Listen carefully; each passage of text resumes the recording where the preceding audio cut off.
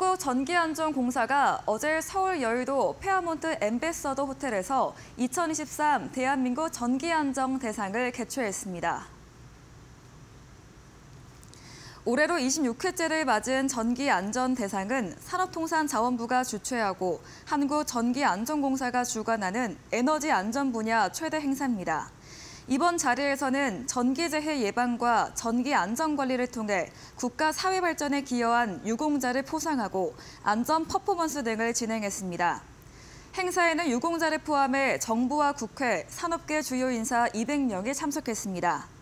박지연 사장은 에너지 안보 확립을 위한 기준과 제도를 마련하고 미래 기술을 융합한 디지털 전환으로 전기 안전관리 체계의 고도화를 이뤄나가겠다며 미래 에너지 환경 변화 대응에 필요한 연구, 개발에도 박차를 가하겠다고 말했습니다.